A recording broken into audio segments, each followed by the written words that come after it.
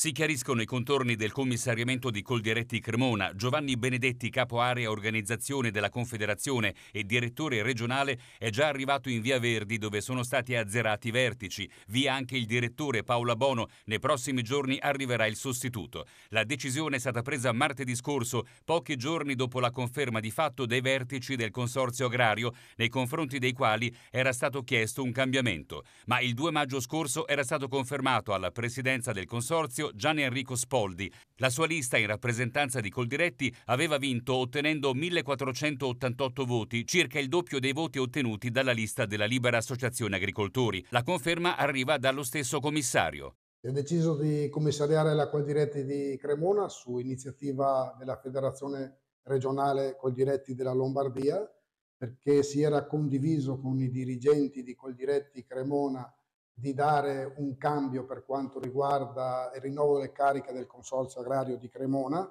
eh, chiedendo come federazione regionale anche a livello nazionale in un incontro che è stato fatto la presenza di tutti i dirigenti sia di Cremona sia regionale sia nazionale di dare un senso di cambiamento rispetto a tutte le vicende che sono accadute.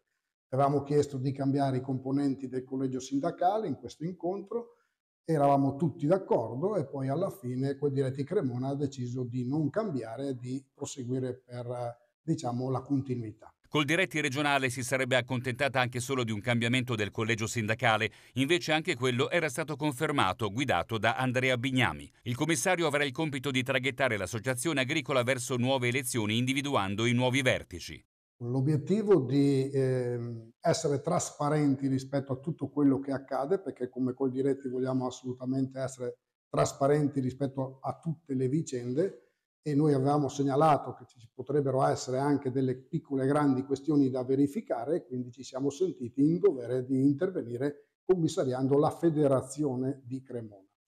Quanto andrà avanti il suo incarico? Non si può dire non c'è una durata, mi auguro ovviamente il più breve tempo possibile. Che cosa vuol dire per rassicurare i vostri associati? Per rassicurare i nostri associati posso assolutamente dire che tutto andrà avanti dal punto di vista dei servizi, dal punto di vista di quello che stiamo facendo e che cercheremo dal punto di vista politico-organizzativo di rappresentare al meglio la Coldiretti di Cremona perché se lo merita. Coldiretti avrebbe intenzione di incorporare il Consorzio Agrario Provinciale nel CAI, Consorzi Agrari d'Italia. Lei conferma questo progetto? No, non è assolutamente vero e anche posso tranquillamente smentire perché nell'incontro fatto quel giorno a Roma il presidente nazionale nostro Prandini ha espressamente escluso che ci sia questa necessità, possibilità o voglia di parte di quel diretti. Il Consorzio Agrario di Cremona è libero di fare quello che ritiene più opportuno. Ecco, nonostante le recenti vicende, si può dire che comunque fino a questo momento il, il, la Coldiretti sia stata comunque gestita nel migliore dei modi? Dal punto di vista dei servizi organizzativi, assolutamente sì. Dal punto di vista politico, ovviamente non ci siamo trovati in linea con le scelte dell'organizzazione a livello territoriale.